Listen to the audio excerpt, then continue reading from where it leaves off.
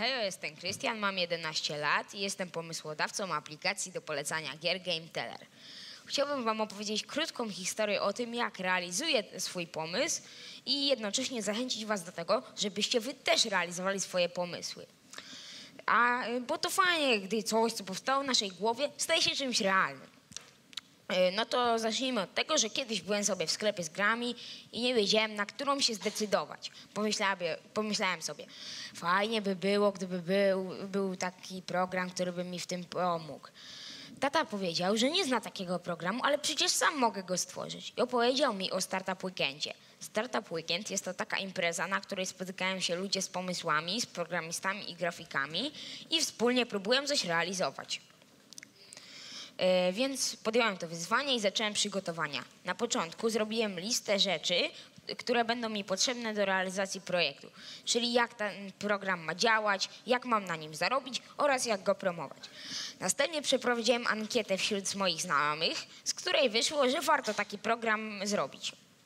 Yy, I, ostat, I ostatnim punktem było to, że musiałem napisać przemowę, która miała trwać jedną minutę i ani sekundy więcej i być po angielsku i, i miała na, na celu zachęcić uczestników tej imprezy, czyli Startup Weekendu, do podjęcia współpracy ze mną.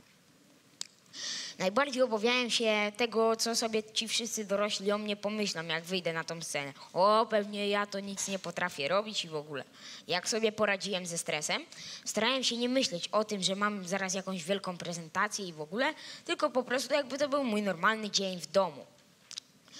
Y, Ale jednak dorośli na Startup Weekendzie okazali się bardzo chętni do rozmowy i y, chętnie mnie słuchali. Y, Mój projekt zajął drugie miejsce na 24 projekty i dzięki temu sukcesowi y, zostałem zaproszony takie, na inne takie wydarzenia, takie jak Game Day, Startup Sprint, warsztaty Spin, Internet Beta oraz TEDx Kids. Mm, Najtrudniejszy w realizacji jest, y, projektu jest kontakt z tatą. Czasami mówimy o tym samym, ale jakby w innych językach. Ja w języku dzieci, a on w języku dorosłych. I siebie po prostu nie rozumiemy.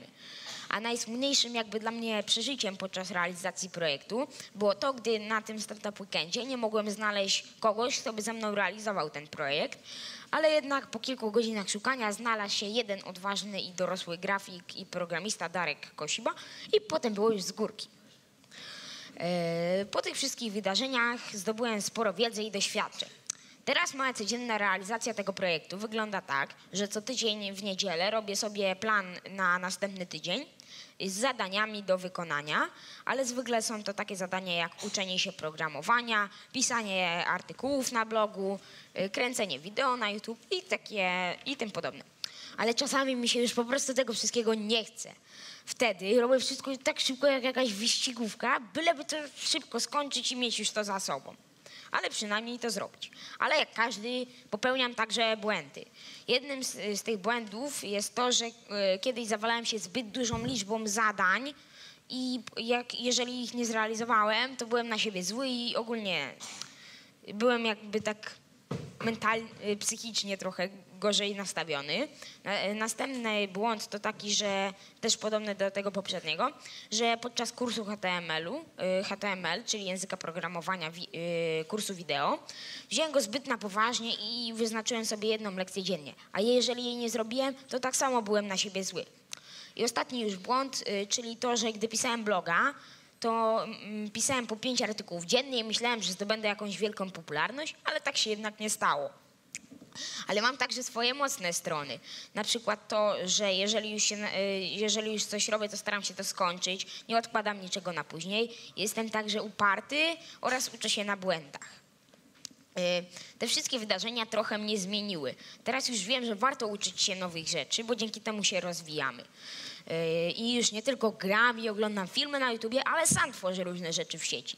Na przykład właśnie programuję, wrzucam te swoje wideo na YouTubie, a także piszę blogi. Mm, Od kilku tygodni prowadzę także e, nowy projekt, czyli warsztaty Kids on Beats, dla, e, na których też dzieci realizują swoje pomysły tak jak ja, ale przy okazji uczymy się też trochę programowania i języka angielskiego. Myślę, że to, że mogę samodzielnie prowadzić te warsztaty, zawdzięczam e, moim wcześniejszym działaniom i tym sukcesom, y, dzięki którym zdobyłem zaufanie nauczycieli. Chciałem przy okazji podziękować pani od informatyki oraz pani dyrektor, które bardzo mi pomogły w organizacji tych warsztatów oraz nie wtrącają się w sposób, w jaki je prowadzę. No, to ja dziękuję za uwagę. Pamiętajcie, że warto realizować swoje marzenia i pomysły, a jeżeli ktoś wam powie, że coś jest niemożliwe, to nie słuchajcie go. Dziękuję.